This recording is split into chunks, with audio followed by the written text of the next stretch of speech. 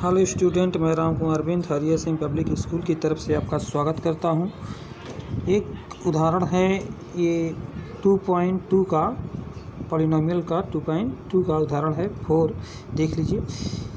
एक द्विघात सम, एक द्विघात बहुपद ज्ञात कीजिए, जिसके शून्यकों का योगफल तथा शून्यकों का तथा गुणनफल क्रमशः माइनस तीन और दो दिए गए हैं।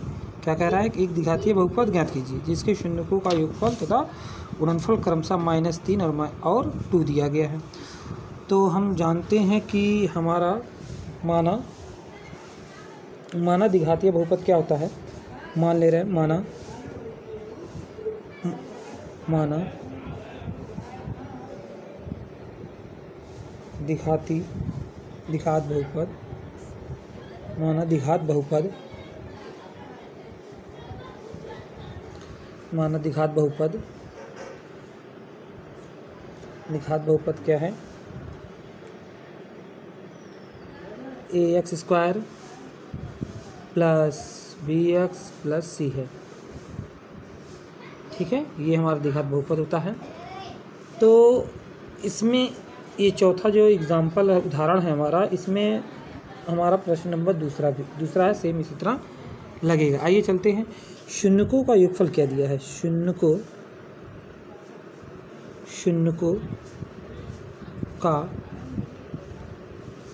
योग फल शून्यकों का योगफल यानी माइनस बी बाई ए होता है हमारा।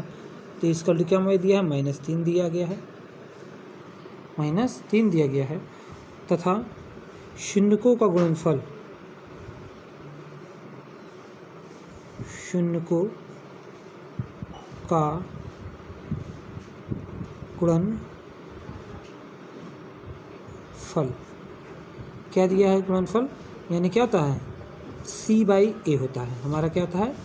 सी बाई ए इसका कितना दिया है? टू यानी कहने का मतलब alpha plus beta equal to क्या होता है? Minus B by A equal to minus तीन।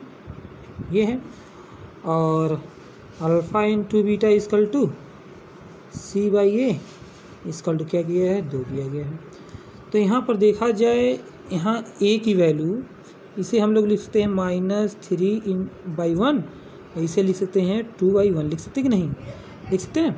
तो यहाँ पर ए की वैल्यू कितनी आ गई? वन आ गई। और यहाँ बी की वैल्यू कितनी आ गई? थ्री आ गई। थ्री माइनस से कैसे प्लस आ गया? क्योंकि यहाँ माइनस ऑलरेडी होता है यहाँ पर, ठीक है ना?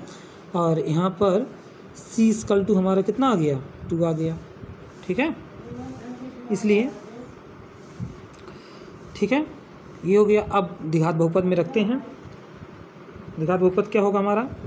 हो जाएगा A X square plus B X plus C equal to A की वैल्यू कितनी है? One X square plus B की वैल्यू कितनी? Three into X plus C की वैल्यू कितनी? टू तो ये आ गया हमारा कितना?